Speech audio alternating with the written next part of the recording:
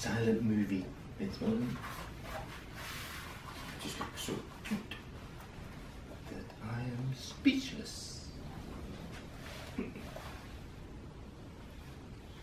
But now I'm talking, so it's not a silent movie.